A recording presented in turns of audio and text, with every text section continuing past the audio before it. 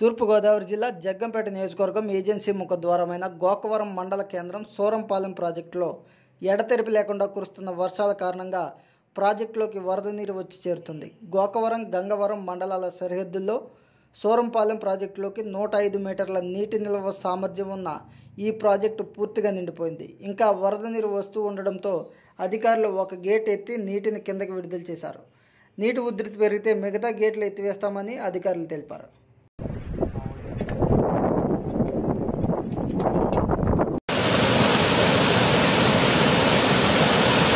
डाले हुए